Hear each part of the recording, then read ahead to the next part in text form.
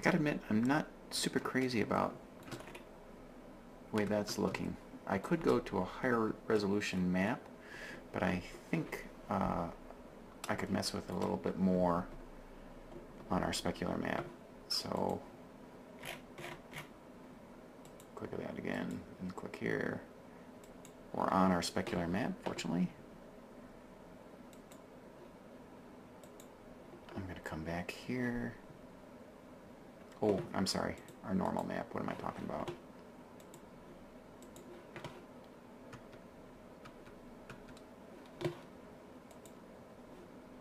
Normal. Show me the normal map. There we go. Sometimes if you sing a little song to Blender, it, it, it treats you better. Uh, so what I'm going to do is I'm going to erase this. Let's switch to paint. And uh, S to sample, make sure we got white. We'll just erase those for now. And then N to bring back our brush. What am I going to do this time? So I'm going to drag this all the way back down to black. But then I'm going to lighten stroke.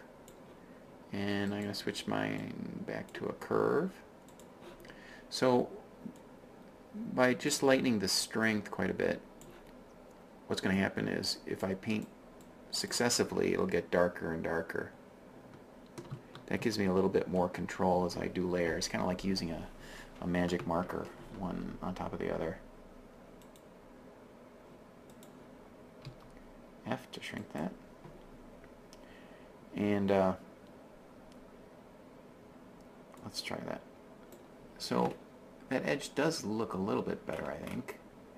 It's still a little bit uh, heavy.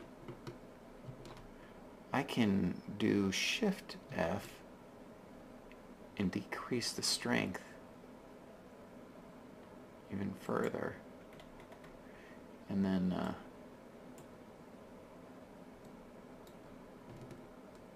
undo. There we go.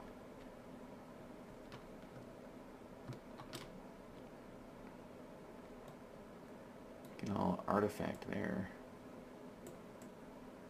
Let's see how successively I can make that deeper and deeper.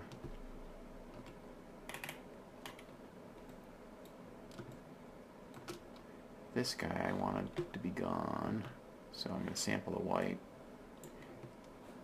Undo. S. And paint white over here. Oh, need our strength up. And then we'll bring this back down.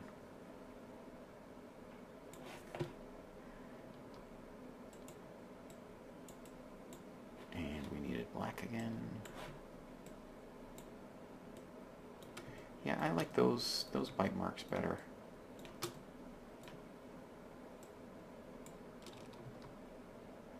I'm going to do a little bit deeper in there.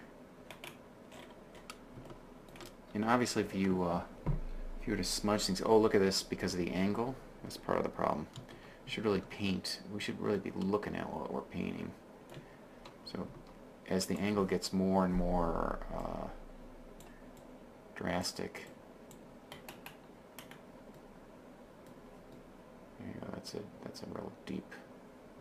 It's also the lighting, lighting hitting this angle. So then, last thing, what I'm going to do is I'm going to take this, and then I'm just going to lighten it. If you hold the shift key, you can move in smaller increments.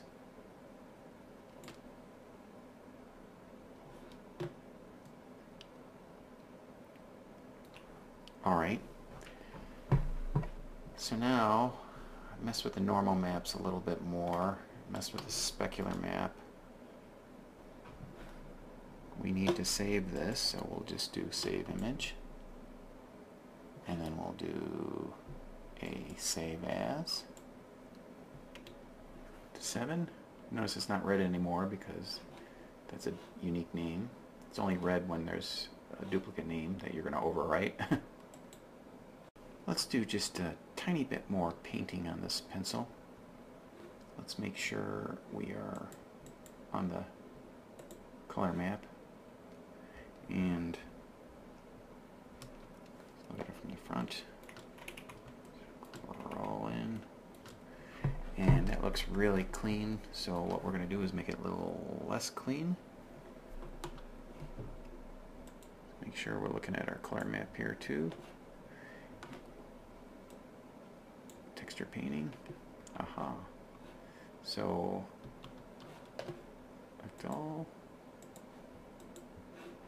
There we go. And texture paint. S to sample. No, I want to sample this. S.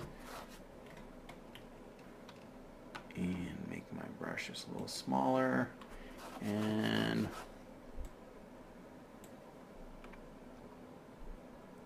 I kind of want to make it a hard brush. So I can just go up like that with our strength all the way up.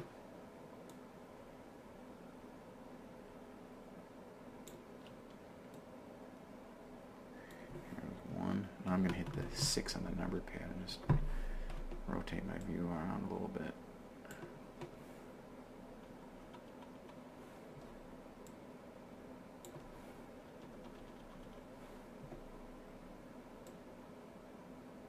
I don't like the way that went, so I'm going to go S to sample that yellow and just paint that up.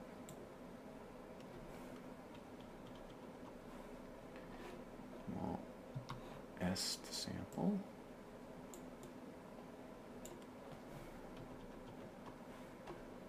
Bring that down just move it like that. That looks a little better. Wouldn't mind a little scratch in the normal map either. So, oh, make sure, Alt S, because the images you have to save separately.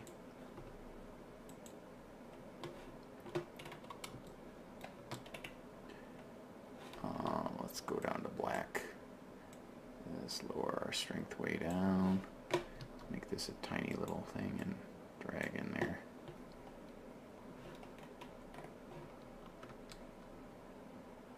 Makes me wonder if I just colored that undo.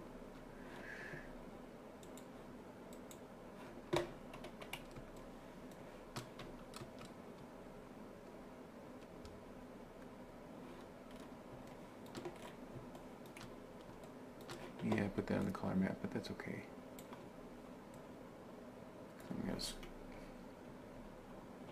just put a little crack in there.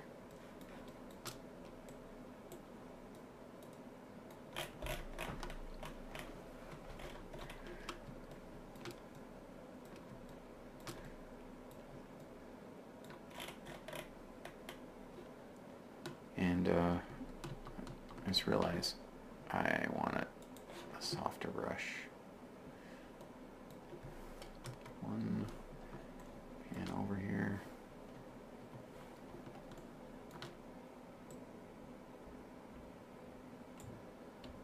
Hmm. Still a little too hard for me. Bring it down, bring the brush up a little bit. Too big. Bring it down. There we go.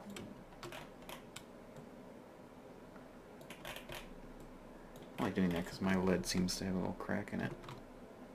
Oh, don't want to it yet. But it's definitely looking more pencil-like. And you can certainly do this on your own to your heart's content. Let's save. I know. I'm saving a lot.